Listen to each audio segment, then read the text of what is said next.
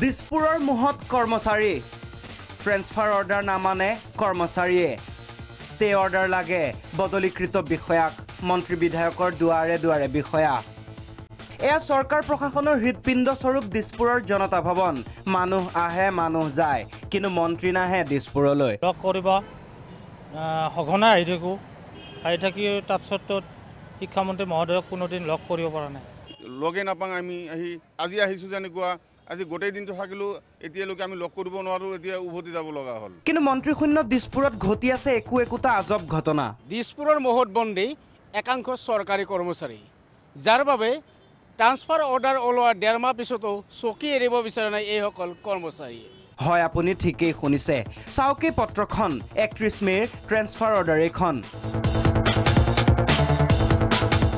বিভিন্ন জিলাৰ খালী পদ পূৰণৰ বাবে পৰিকল্পনা আৰু উন্নয়ন বিভাগে বাৰগৰাকী বিষয়া কৰ্মচাৰীক বদলি কৰিছিল। এওঁলোক হ'ল ক্ৰমে মানস প্ৰতিম ৰাজখোৱা সঞ্জীৱ কুমাৰ ঠাকুৰ সুজাতা দাস মতিউৰ ৰহমান ঈশ্বৰ প্ৰসাদ দাস মনোৰঞ্জন শৰ্মা দীপাংক হাজৰিকা দীনেশ কলিতা প্ৰণৱজ্যোতি বৰা ধীৰেণ মহন্ত মৰমী কাকতি আৰু ৰাণুমণি গায়ন। কিন্তু ডেৰ মাহ উকলি গ'ল। দিছপুৰ এৰি নগ'ল এইসকল বিষয়া কৰ্মচাৰী। ইয়াৰ বিপৰীতে ষ্টে অৰ্ডাৰ বিচাৰি মন্ত্ৰী বিধায়ক বিজেপি নেতাৰ দুৱাৰে দুৱাৰে ঘূৰি ফুৰিছে এইসকল কৰ্মচাৰী। কিয় এইসকল কৰ্মচাৰীৰ বিৰুদ্ধে ব্যৱস্থা গ্ৰহণ কৰা নাই চৰকাৰে? সঁচাকৈ আপুনি মই ভবাৰ দৰে এয়াই সঁচা নেকি?